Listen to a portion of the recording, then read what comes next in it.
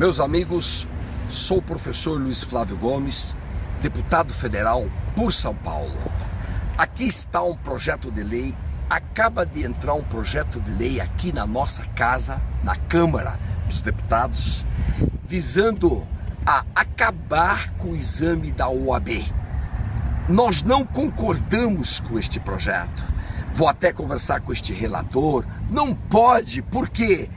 Já tem jurisprudência do Supremo pacífica. Neste sentido, de 2011, o exame da OAB é legal, é constitucional e necessário.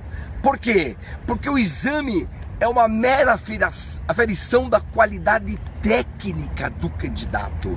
Ser bacharel, terminar o curso de direito, não significa ser advogado. Se você é bacharel e quer ser juiz, o que é que você tem que fazer? Mostrar suas habilidades numa prova. Se você quer ser promotor, defensor, delegado, você tem que mostrar suas habilidades, habilidades mínimas. Se todas as carreiras exigem uma prova, por que o AB iria automaticamente admitir como advogado todos os bacharéis que terminam o curso. Tem que ser idêntico, tem que ter tratamento igualitário. Ser bacharel não é ser advogado.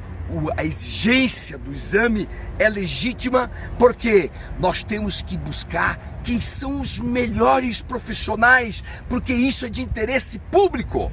Todo mundo tem interesse, a justiça e toda a população.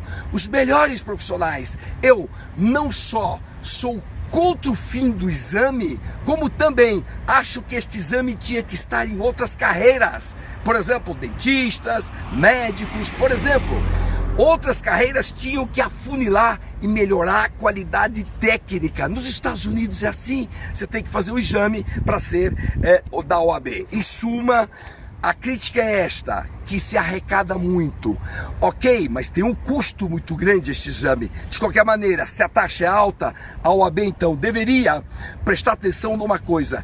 Faça uma forma de dar algumas bolsas para quem é mais carente. E é isso a OAB tem que fazer. Sim, sim, sim. E mais, a OAB arrecada, mas agora também a OAB suas contas são transparentes, como por exemplo a OAB de São Paulo, absoluta transparência das contas. De outro lado, o TCU já determinou que faz o controle externo das contas da OAB. Ou seja, nós temos que melhorar a qualidade técnica da prova, mas continuar exigindo essa prova é muito importante para a população, os melhores por mérito. Quem tem mérito, que ocupe então os postos na sua vida pelo mérito. Curta minha página, fique informado e compartilhe este vídeo. Estamos juntos pelo exame de ordem, pois do contrário, a população brasileira vai toda sofrer, sofrer porque muita gente é bacharel, mas não tem capacitação para ser advogado. Forte abraço a todos.